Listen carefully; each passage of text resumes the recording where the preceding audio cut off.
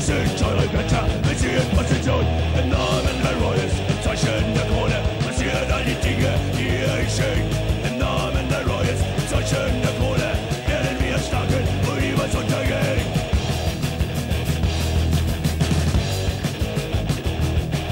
In unserem Namen sollten und leben, du Zeichen der Krone.